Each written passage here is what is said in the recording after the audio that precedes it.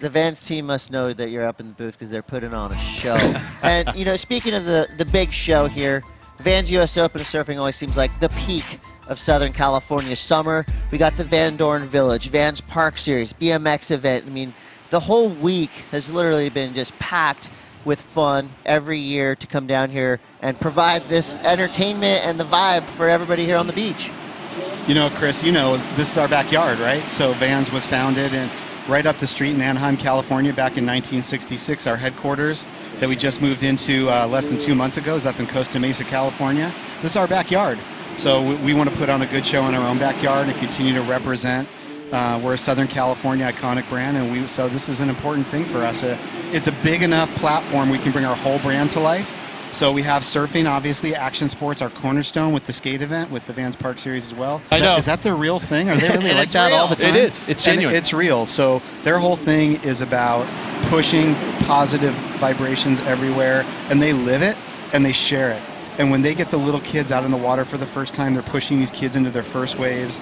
You see that the kids then take that stoke with them wherever they go, and it's, I think it's a pretty amazing thing. Speaking of amazing things, Yeah, Tomas, they, they must be sending some positive Yeah. vibrations to their friend Tomas Hermes, who just went ballistic. series is one of the two paths to Olympics. So the level is rising. You can see how serious the guys are out there. It's it's incredible to watch. Uh oh. We just saw a nice little reverse here from Griffin Colapinto. He's going to be pushing Tomas here. Yeah, we bring up skateboarding and all of a sudden He's doing skate starts- moves. So 14 12 here, Colapinto. He's only got a 3-6-7, so he's up against the ropes. And again, that's how this kid, who's a, such a clutch performer, he will never give you an inch. And that is going to be a massive score. Really does. With the ramps, Bode, like, yeah, it, it bodes well. Is uh, you see that types of move right there. Uh, you be able to see that just on the sands here uh, in the Park Series. So again, the great event to be able to just kind of see how they both influence each other. Yeah, it's pretty cool. The way we have some of the the viewing set up is you turn one way and you're watching the guy skate. You turn the other way and you're watching the guy surf. And you, you just walk. You're just turning around 360 degrees. So it's really nice to see that here.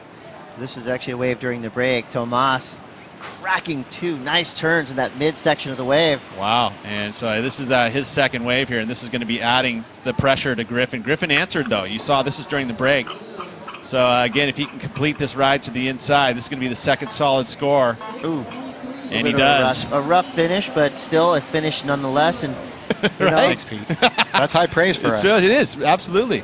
Nine minutes to go. Tomas Hermes holding off Griffin Colapinto. One quick snap out the back. And that way of not panning out. What he did there was uh, play a little bit of a tactical game. There it is. And it's going to be Griffin going left. Cranks it off the bottom, straight up in the lip. Looking for more.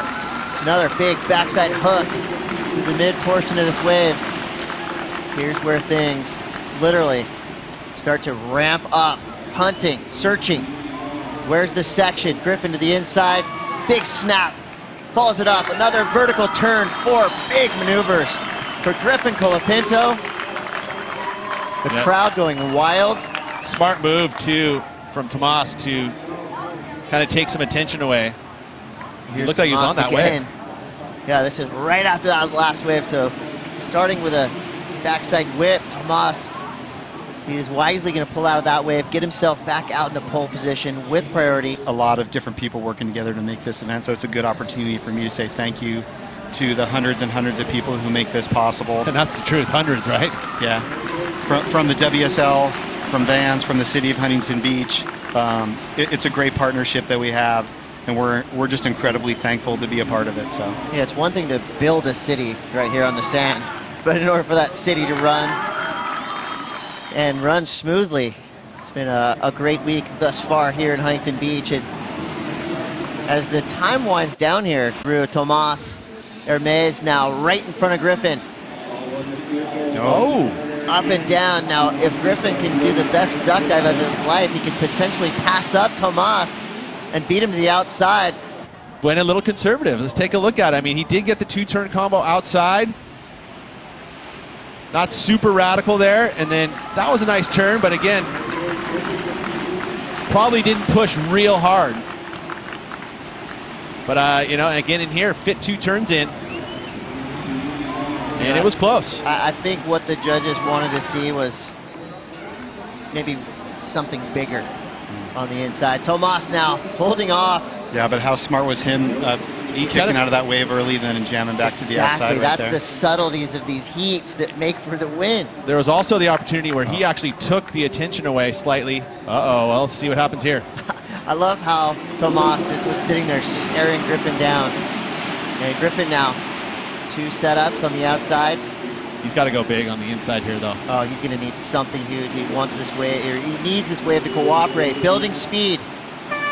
Time's up. What's Griffin got on the inside? Goes to the air. Oh, oh, and that was what he needed. Goes down. So Griffin Colapinto. He stomps that, he wins the heat. Thank you Support, guys. for supporting this whole world that we live in. Keeping the dream alive for us. Wow, another epic heat in the books.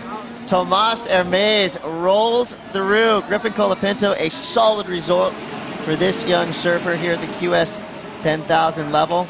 Thanks, Doug. Pete, another epic heat.